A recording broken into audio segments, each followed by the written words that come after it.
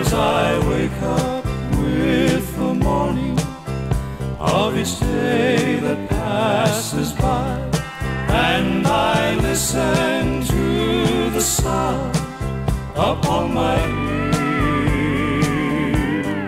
I can't help but keep a watch toward the eastern sky, and I wonder if the trumpet will be the next sound that I hear. What a beautiful day for the Lord to come again.